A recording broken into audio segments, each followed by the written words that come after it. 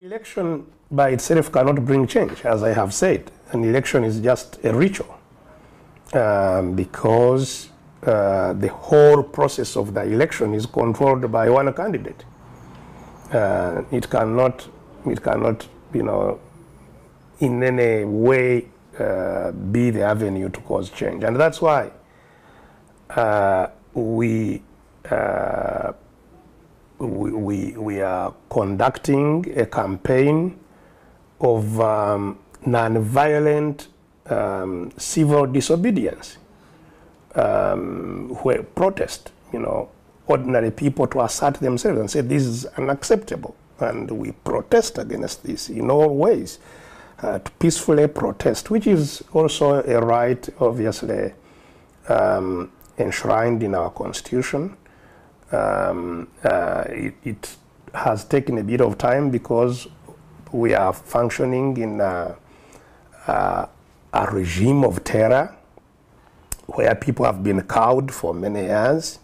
So we've been going through a period of empowerment, um, giving them information and um, um empowering them to understand that this is their country and they will not um, benefit from from its resources and its uh, uh, opportunities unless they assert themselves um, and that no, you know, freedom does not come freely. You have to work for it.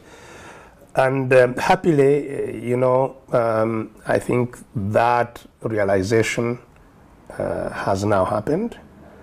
Um, we have, you can see the energy amongst the people in spite of the frightening, uh, uh, uh, you know, deployments that are, you know, out there with the ugly-looking machines uh, of, uh, you know, um, armor, um, you know, armor, armor, armored vehicles and uh, machine guns and um, you know, and riot gears of all kinds, people are assertive, are saying, well, we are fed up. Simply understand that we are fed up. And they beat them and tomorrow they come back. So I uh, reckon that um, um, through this avenue of people asserting themselves directly through protest, uh, will lead uh, to either uh, some form of a dialogue process uh, with the regime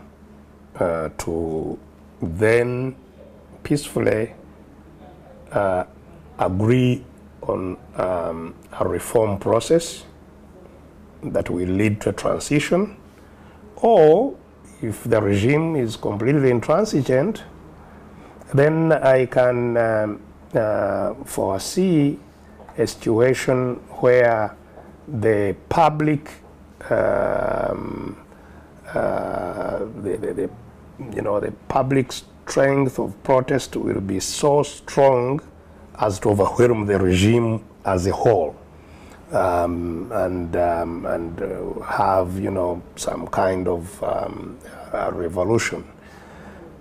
Uh, frankly, our hope would be not to get there, because getting there leads to some other complications. What would be uh, reasonable um, is for the regime to realize that um, you know its time is up and that to take cognizance of people's demands and to realize that people are really determined uh, to have the changes they, they, they, they, they need and deserve. And therefore to come round and negotiate an exit and a transition to a truly democratic dispensation. That would be the, the, the preferred way uh, as we see it. And this transition obviously would end with uh, having a transparent and credible elections uh, that whoever wins would then come into government.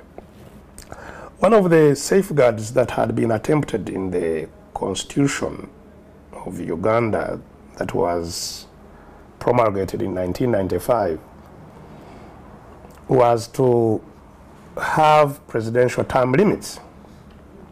Um, the constitution provided that a president can be elected for a term of five years and after that term, if re-elected, would serve a second and last term. No president would serve more than two terms. And that was um, a very useful um,